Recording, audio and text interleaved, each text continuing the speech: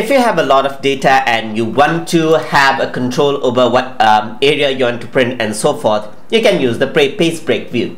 So you can see that uh, over here, there's the page break preview. So if I were to click it, you get to the page break view right here.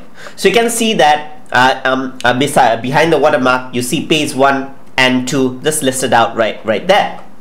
So due to this, you know that this is going to be page, uh, printed out in page 1 and this in page 10.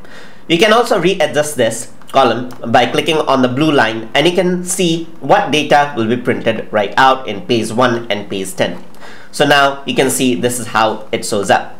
Let's say I just want to print this data right here. So I'm going to go into page layout and then I'm going to set a print area right here. So this is going to be in page 1, page 2 and page 3 respectively. Let's say I want more data so I'm just going to drag it across just like this and I just want a bit of data in page 3 and this in, in, in page 2. So if I were to uh, go to print preview by pressing Ctrl F2, you'll be able to see that this is page 1, this is page 2 and page 3 respectively. So you'll be able to set pr uh, printing settings right here and then print, it, print them out respectively. So that is how you can use the page break view inside of Microsoft Excel. Hope you guys learned something as always and as always please like, comment, share and subscribe.